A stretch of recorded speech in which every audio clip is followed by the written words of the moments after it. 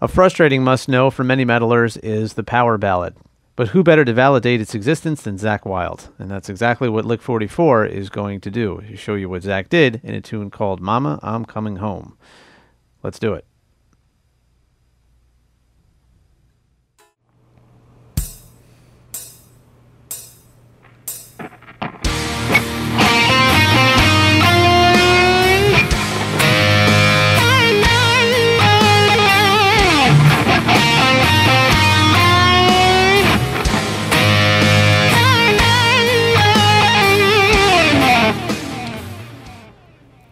So in order to catch the vibe of this lick here, even though it's at a slow tempo, there's a lot of nuances to pay attention to.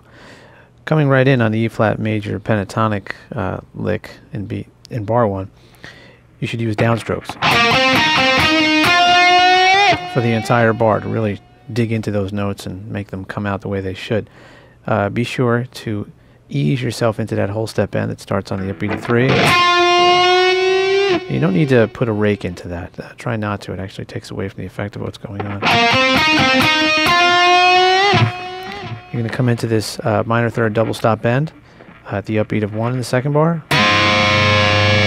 You almost want to make that uh, ghost bend, but not really. You're still raising the pitch. It's just very fast. And you'll come down and uh, take it from there with uh, all melodic ideas based in E flat major.